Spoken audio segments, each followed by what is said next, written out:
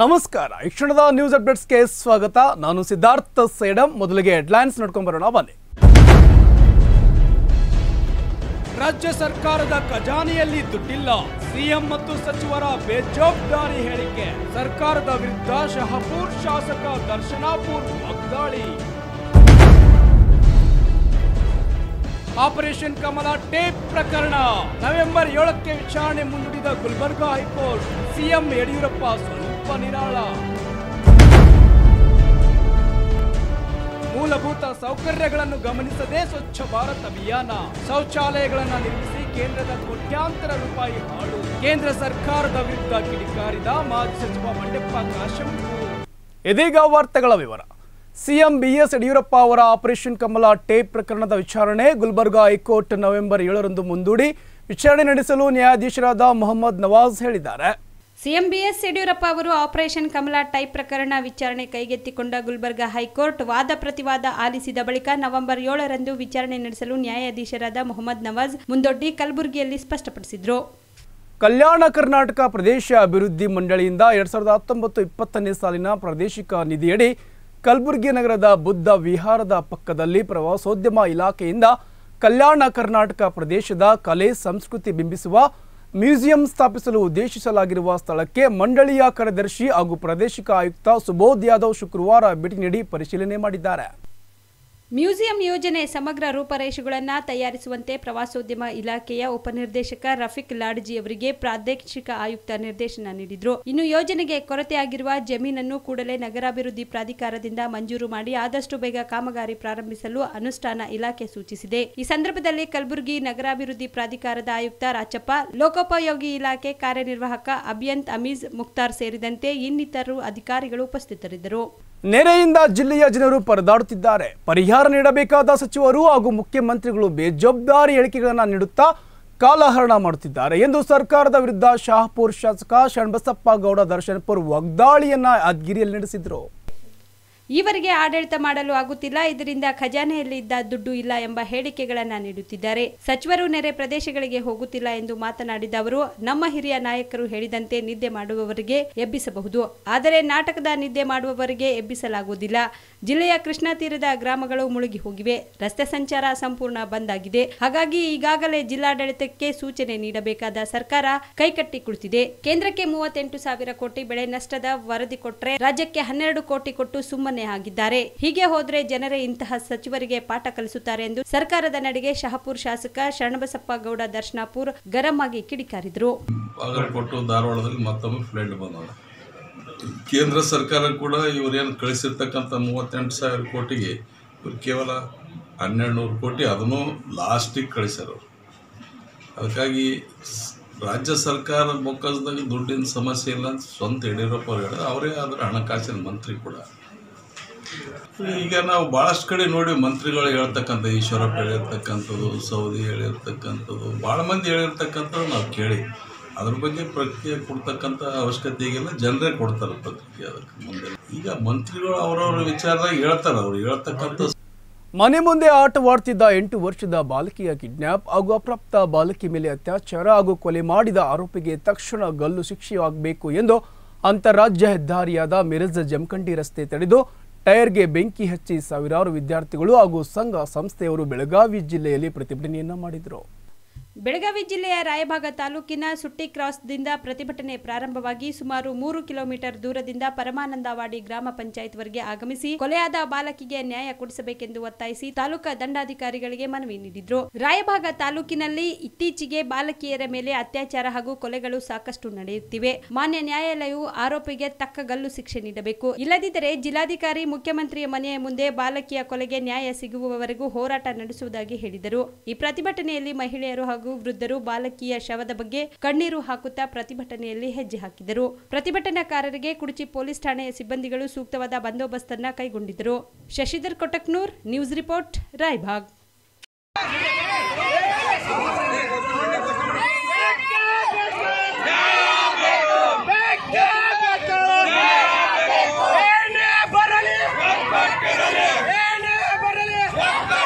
ಸಿಗದಂತ ಆ ನೀಚನಿಗೆ ಗಣ ನ್ಯಾಯಾಲಯ ಕಲ್ಲು ಶಿಕ್ಷೆಯನ್ನು ವಿಧಿಸಬೇಕಂತ ನಾವೆಲ್ಲ ಕೂಡ್ಕೊಂಡೆವು.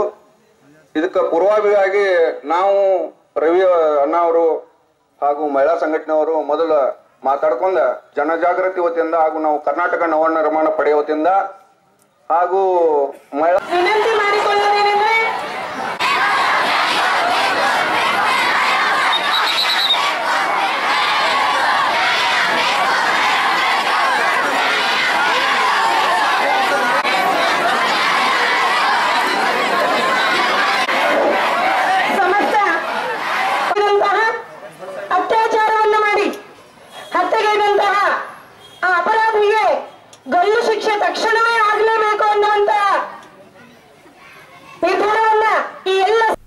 ಬೆಳಗಾವಿ ಜಿಲ್ಲೆಯಲ್ಲಿ ಭಾರಿ ಪ್ರಮಾಣದಲ್ಲಿ ಮಳೆ ಹಿನ್ನೆಲೆಯಲ್ಲಿ ರಾಮದುರ್ಗ ತಾಲೂಕಿನ ಎಲ್ಲ ನದಿ ಪಾತ್ರದ ಗ್ರಾಮಗಳಲ್ಲಿ ಡಂಗೂರು ಸಾರಿ ಹೇಳಲು ಆಯಾ ಊರಿನ ಪಿಡಿಒಗಳಿಗೆ ತಹಸೀಲ್ದಾರರು ಆದೇಶ ಮಾಡಿದ್ದಾರೆ. ಬೆಳಗಾವಿ ಜಿಲ್ಲೆಯಲ್ಲಿ ಭಾರಿ ಪ್ರಮಾಣದಲ್ಲಿ ಮಳೆ ಹಿನ್ನೆಲೆಯಲ್ಲಿ ಮಲಪ್ರಭಾ ನದಿಗೆ ಹದಿನೈದು ಸಾವಿರ ಕ್ಯೂಸೆಕ್ಸ್ ನೀರು ಬಿಡಲಾಗಿದ್ದು, ರಾತ್ರಿ ಹೆಚ್ಚು ಆಗುವ ಸಾಧ್ಯತೆ ಇದೆ. ನದಿ ಪಾತ್ರದ ಜನರಲ್ಲಿ ಮತ್ತೆ ಆತಂಕ ಎದುರಿಸುವಂತಾಗಿದೆ. ಯಾವುದಕ್ಕೂ ಹುಷಾರಾಗಿರಿ ಎಂದು ರಾಮದುರ್ಗ ತಾಲೂಕಿನ ಎಲ್ಲ ನದಿ ಪಾತ್ರದ ಗ್ರಾಮಗಳಿಗೆ ಡಂಗೂರ ಸಾರಿ ಹೇಳಲು ಆ ಊರಿನ ಪಿಡಿಒಗಳಿಗೆ ತಹಸೀಲ್ದಾರ್ ಆದೇಶ ಮಾಡಿದ್ದಾರೆ.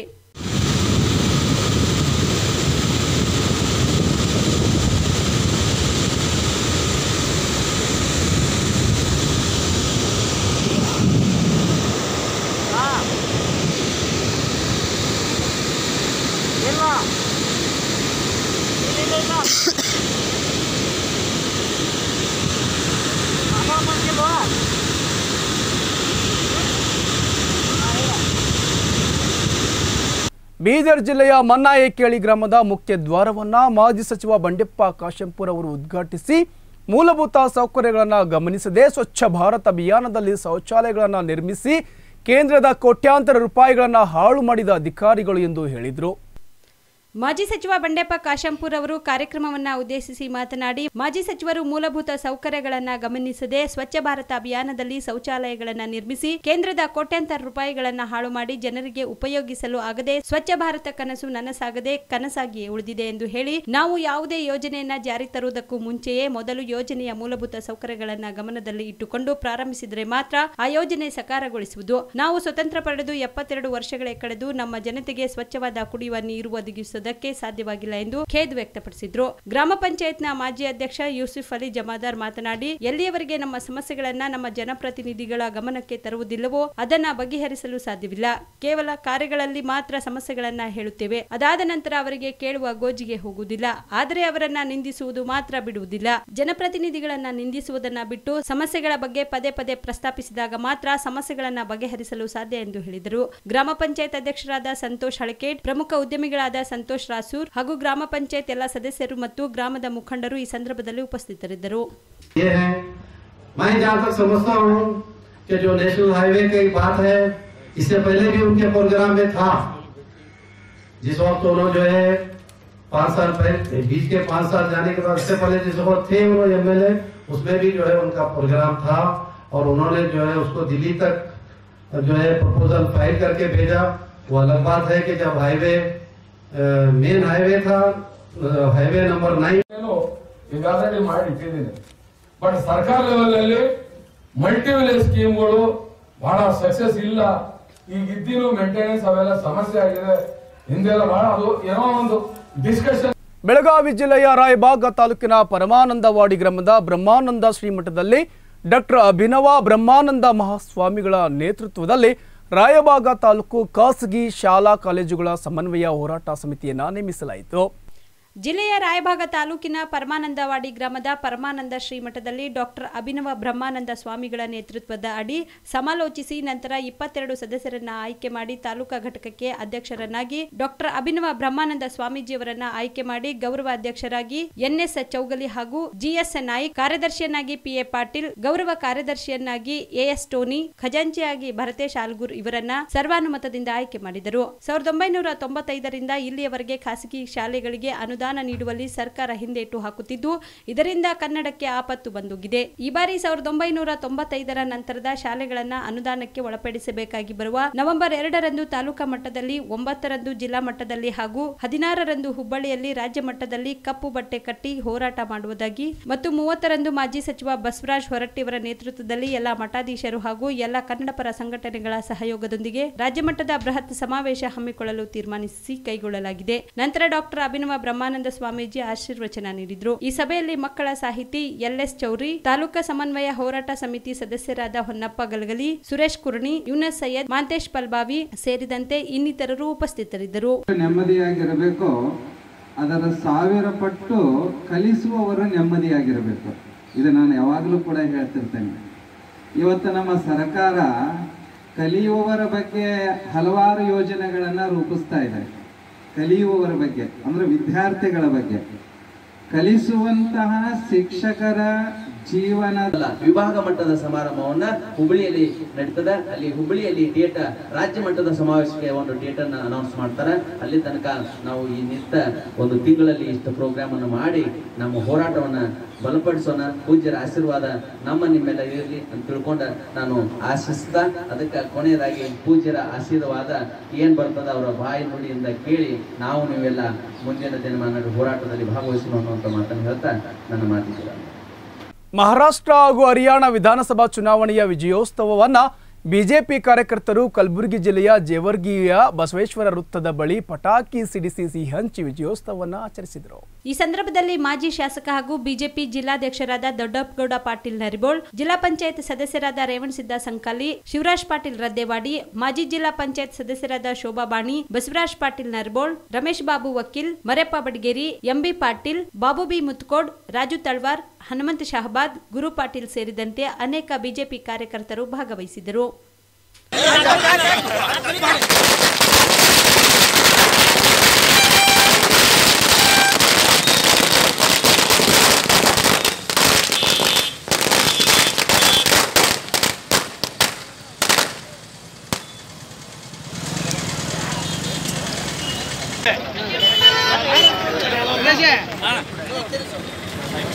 ಸರ್ ಸ್ವಲ್ಪ ಜನತಾ ಪಕ್ಷಕ್ಕೆ ಮಹಾರಾಷ್ಟ್ರ ಬಿಜೆಪಿ ಸರ್ಕಾರಕ್ಕೆ.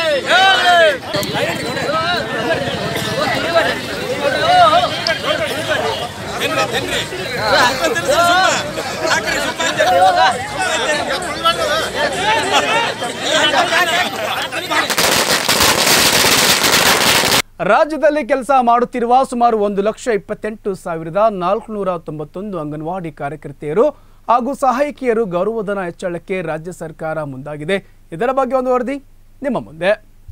ಈ ಬಗ್ಗೆ ಶುಕ್ರವಾರ ಮಾಹಿತಿ ನೀಡಿರುವ ಮಹಿಳಾ ಮತ್ತು ಮಕ್ಕಳ ಕಲ್ಯಾಣ ಸಚಿವೆ ಶಶಿಕಲಾ ಜೊಲ್ಲೆ ಗೌರವಧನ ಹೆಚ್ಚಳಕ್ಕಾಗಿ ಒಟ್ಟು ತೊಂಬತ್ತೆಂಟು ಪಾಯಿಂಟ್ ಮೂವತ್ತು ಕೋಟಿ ರೂಪಾಯಿ ಬಿಡುಗಡೆ ಮಾಡಲಾಗಿದ್ದು ಅಂತ ಮಾಹಿತಿ ನೀಡಿದ್ದಾರೆ. ಮಹಿಳೆಯರು ಮಿನಿ ಅಂಗನವಾಡಿ ಕಾರ್ಯಕರ್ತೆ ರಾಜ್ಯದಲ್ಲಿ ಕೆಲಸ ಮಾಡುತ್ತಿರುವ ಸುಮಾರು ಒಂದು ಲಕ್ಷದ ಇಪ್ಪತ್ತೆಂಟು ಸಾವಿರದ ನಾಲ್ಕುನೂರ ತೊಂಬತ್ತೊಂದು ಅಂಗನವಾಡಿ ಕಾರ್ಯಕರ್ತೆಯರು ಇದೇ ವೇಳೆ ಅವರು ತಮ್ಮ ಮಾತನ್ನ ಮುಂದುವರಿಸಿ ಒಂದು ಸಾವಿರ ಅಂಗನವಾಡಿ ಕೇಂದ್ರಗಳ ದುರಸ್ತಿಗೆ ಹತ್ತು ಕೋಟಿ ರೂಪಾಯಿ ಅನುದಾನ ಬಿಡುಗಡೆ ಮಾಡಲಾಗಿದೆ ಅಂತ ಹೇಳಿದರು. ಇನ್ನು ಇಲಾಖೆಯಲ್ಲಿ ಶೇಕಡಾ ಐವತ್ತರಷ್ಟು ಹುದ್ದೆಗಳು ಖಾಲಿ ಇರುವ ಕಾರಣದಿಂದ ಸಮಸ್ಯೆಗಳು ಉಂಟಾಗುತ್ತಿದ್ದು, ಈ ನಿಟ್ಟಿನಲ್ಲಿ ನಲವತ್ತೆಂಟು ಶಿಶು ಅಭಿವೃದ್ಧಿ ಯೋಜನಾ ಅಧಿಕಾರಿಗಳನ್ನ ನೇಮಿಸಿ ಸ್ಥಳ ನಿಯುಕ್ತಗೊಳಿಸಿ ಸರ್ಕಾರದಿಂದ ಆದೇಶ ಹೊರಡಿಸಲಾಗಿದೆ. ಮೂವತ್ಮೂರು ಸಹಾಯಕ ಶಿಶು ಅಭಿವೃದ್ಧಿ ಯೋಜನಾ ಅಧಿಕಾರಿಗಳನ್ನ ನೇಮಿಸಿಕೊಳ್ಳಲಾಗಿದ್ದು, ಇವರಿಗೂ ಸ್ಥಳ ನಿಯುಕ್ತಗೊಳಿಸಲಾಗಿದೆ ಅಂತ ಹೇಳಿದರು. ಇನ್ನು ಆರುನೂರ ಇಪ್ಪತ್ತೆಂಟು ಮಹಿಳಾ ಮೇಲ್ವಿಚಾರಕಿಯರಿಗೆ ಸ್ಥಳ ನಿಯುಕ್ತಗೊಳಿಸಲು ಕ್ರಮ ವಹಿಸಲಾಗುತ್ತಿದೆ. ಇದರಲ್ಲಿ ಮುನ್ನೂರ ಎಪ್ಪತ್ನಾಲ್ಕು ಮೇಲ್ವಿಚಾರಕರಿಗೆ ತರಬೇತಿ ಪೂರ್ಣಗೊಂಡಿದ್ದು, ಬಾಕಿ ಇನ್ನೂರ ಐವತ್ನಾಲ್ಕು ಮೇಲ್ವಿಚಾರಕರಿಗೆ ತರಬೇತಿ ನೀಡುವ ಪ್ರಕ್ರಿಯೆ ಜಾರಿಯಲ್ಲಿದೆ ಎಂದು ತಿಳಿಸಿದರು. ಶಿವಮೊಗ್ಗ ನಗರದಲ್ಲಿನ ರಸ್ತೆಗಳ ಕಳಪೆ ಸ್ಥಿತಿಯನ್ನು ಖಂಡಿಸಿ ವಿದ್ಯಾರ್ಥಿ ಸಂಘಟನೆಯ ಸದಸ್ಯರು ಶನಿವಾರದಂದು ರಾಜ್ಯ ಸರ್ಕಾರ ಗಮನ ಸೆಳೆಯಲು ಪ್ರತಿಭಟನೆಯನ್ನು ನಡೆಸಿದರು. ರಾಜ್ಯ ಸರ್ಕಾರದ ಗಮನ ಸೆಳೆಯಲು ಪ್ರತಿಭಟನಾಕಾರರು ಮಳೆ ನೀರು ತುಂಬಿದ ಗುಂಡಿಗಳಲ್ಲಿ ಸಸಿಗಳನ್ನು ನೆಟ್ಟರು ಶಿವಮೊಗ್ಗದ ದುರ್ಗಾಗುಡಿ ಪಾರ್ಕ್ ವಿಸ್ತರಣೆ ತಿಲಕ್ ನಗರ ಮತ್ತು ಗಾಂಧಿನಗರ ಪ್ರದೇಶಗಳಲ್ಲಿನ ರಸ್ತೆಗಳು ಭಾರಿ ಮಳೆಯಿಂದ ಗುಂಡಿಗಳು ಮತ್ತು ಕುಳ್ಳಗಳನ್ನು ಅಭಿವೃದ್ಧಿಪಡಿಸುವಂತೆ ನಗರ ರಸ್ತೆಗಳ ಕಳಪೆ ಸ್ಥಿತಿಯನ್ನು ಖಂಡಿಸಿ ವಿದ್ಯಾರ್ಥಿ ಸಂಘಟನೆಯ ಸದಸ್ಯರು ಶನಿವಾರ ಪ್ರತಿಭಟನೆ ನಡೆಸಿದರು ಅಯ್ಯಯ್ಯೋ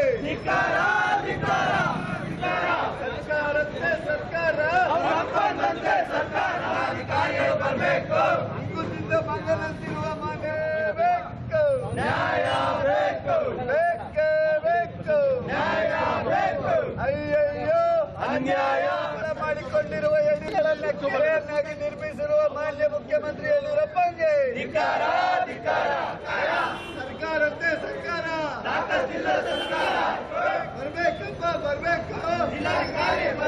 ಅಕ್ಟೋಬರ್ ಇಪ್ಪತ್ತಾರರಂದು ಹಿಮಾಚಲ ಪ್ರದೇಶದ ವಿವಿಧ ಮೂಲೆಗಳಿಂದ ಗ್ರಾಮೀಣ ಉತ್ಪಾದಕರ ಪೇಂಟೆಂಟ್ ಉತ್ಪನ್ನಗಳ ಮೂರು ದಿನಗಳ ಪ್ರದರ್ಶನ ಮತ್ತು ಮಾರಾಟವು ಶಿಮ್ಲಾದ ಪ್ರವಾಸಿಗರು ಮತ್ತು ಸ್ಥಳೀಯರ ಗಮನ ಸೆಳೆಯಿತು. ಶನಿವಾರದಂದು ಹಿಮಾಚಲ ಪ್ರದೇಶದಲ್ಲಿ ಈ ಎಲ್ಲ ಉತ್ಪನ್ನಗಳು, ಭೌಗೋಳಿಕ ಸೂಚಕಗಳು ಇಜಿಐ ಉತ್ಪನ್ನಗಳನ್ನು ಹಿಮಾಚಲ ರಾಜ್ಯದಲ್ಲಿ ಸಂರಕ್ಷಿಸಲು ಮತ್ತು ಉತ್ತೇಜಿಸಲು ಯುವ ನಿರ್ಮಾಪಕರು, ರೈತರು ಮತ್ತು ಕಲಾವಿದರು ಕೈಜೋಡಿಸುತ್ತಾರೆ ಎನ್ನಲಾಗಿದೆ.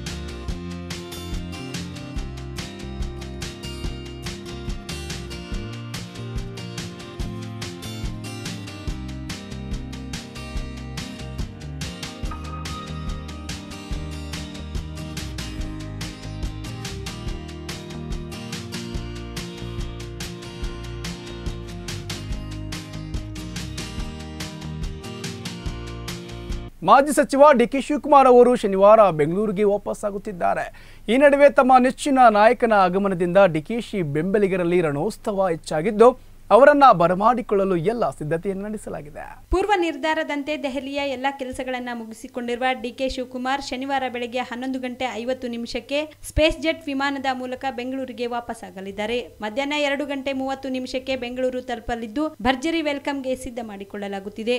ಬೆಂಗಳೂರು ವಿಮಾನ ನಿಲ್ದಾಣದಿಂದ ಕೆಪಿಸಿಸಿ ಕಚೇರಿವರೆಗೆ ಮೆರವಣಿಗೆ ಮಾಡಲು ಪ್ಲಾನ್ ಮಾಡಿಕೊಂಡಿದ್ದು, ಮೆರವಣಿಗೆಯಲ್ಲಿ ಬರಲಿರುವ ಡಿಕೆ ಶಿವಕುಮಾರ್ ಕೆಪಿಸಿಸಿ ಕಚೇರಿಯಲ್ಲಿ ಮಾಧ್ಯಮಗಳೊಂದಿಗೆ ವಿಸ್ತೃತವಾಗಿ ಮಾತನಾಡಲಿದ್ದಾರೆ. ಇನ್ನು ಶಾಸಕ ಡಿಕೆ ಶಿವಕುಮಾರ್ ಅವರು ಬೆಂಗಳೂರಿಗೆ ವಾಪಸ್ ಬರುತ್ತಿರುವ ಹಿನ್ನೆಲೆಯಲ್ಲಿ ಬೆಂಗಳೂರಿನ ಪೊಲೀಸರು ಬಿಗಿ ಬಂದೋಬಸ್ತ್ ಅನ್ನು ಆಯೋಜನೆ ಮಾಡಿದ್ದಾರೆ. ಕ್ಯಾರ್ ಚಂಡಮಾರುತದ ಬರಕ್ಕೆ ಕರ್ನಾಟಕ, ಮಹಾರಾಷ್ಟ್ರ, ಗೋವಾ, ಒಡಿಶಾ, ಪಶ್ಚಿಮ ಬಂಗಾಳದಲ್ಲಿ ಧಾರಾಕಾರ ಮಳೆಯಾಗುತ್ತಿದ್ದು, ಜನಜೀವನ ಅಸ್ತವ್ಯಸ್ತಗೊಂಡಿದೆ. ಇದರ ಬಗ್ಗೆ ಒಂದು ರಿಪೋರ್ಟ್ ನಿಮ್ಮ ಮುಂದೆ. ಅರಬ್ಬಿ ಸಮುದ್ರದಲ್ಲಿ ಉಂಟಾಗಿರುವ ಕ್ಯಾರ್ ಚಂಡಮಾರುತದಿಂದ ಮಹಾರಾಷ್ಟ್ರದ ಕರಾವಳಿ ಜಿಲ್ಲೆಗಳಾದ ರತ್ನಗಿರಿ ಮತ್ತು ಸಿಂಧುದುರ್ಗದಲ್ಲಿ ಶನಿವಾರವೂ ಭಾರಿ ಮಳೆಯಾಗಲಿದೆ ಎಂದು ಹವಾಮಾನ ಇಲಾಖೆ ಮುನ್ನೆಚ್ಚರಿಕೆ ನೀಡಿದೆ. ಗೋವಾದಲ್ಲಿ ಮೂರು ದಿನಗಳಿಂದ ಮಳೆಯಾಗುತ್ತಿದ್ದು, ಶನಿವಾರ ಇದೇ ತೀವ್ರತೆ ಮುಂದುವರೆಯಲಿದೆ ಎಂದು ಹವಾಮಾನ ಇಲಾಖೆ ತಿಳಿಸಿದೆ. ಅಲ್ಲದೆ ಗೋವಾದಲ್ಲಿ ವಿವಿ ಪರೀಕ್ಷೆಗಳನ್ನು ಸಹ ರದ್ದು ಮಾಡಲಾಗಿದೆ. ಈ ಬಾರಿ ಮುಂಗಾರು ಮಳೆಗೆ ದೇಶಾದ್ಯಂತ ಒಟ್ಟು ಎರಡು ಸಾವಿರದ ನೂರ ಐವತ್ತೈದು ಮಂದಿ ಸಾವನ್ನಪ್ಪಿದ್ದು, ಅವರಲ್ಲಿ ಇನ್ನೂರ ಎಂಬತ್ತೈದು ಸಾವು ಕರ್ನಾಟಕದಲ್ಲಿ ಸಂಭವಿಸಿವೆ. ಇನ್ನು ಮಳೆ ಮುಂದುವರೆದಿದ್ದು ಭಾರಿ ಮಳೆಯ ಮುನ್ಸೂಚನೆ ಹಿನ್ನೆಲೆಯಲ್ಲಿ ದಕ್ಷಿಣ ಕನ್ನಡ ಮತ್ತು ಉಡುಪಿ ಜಿಲ್ಲೆಯ ಶಾಲಾ ಕಾಲೇಜುಗಳಿಗೆ ರಜೆ ಶನಿವಾರ ನೀಡಲಾಗಿದೆ. ಇವಿಷ್ಟು ಈ ಕ್ಷಣದ ನ್ಯೂಸ್ ಅಪ್ಡೇಟ್ಸ್ ಹೀಗೆ ನೋಡ್ತಾ ಇರಿ.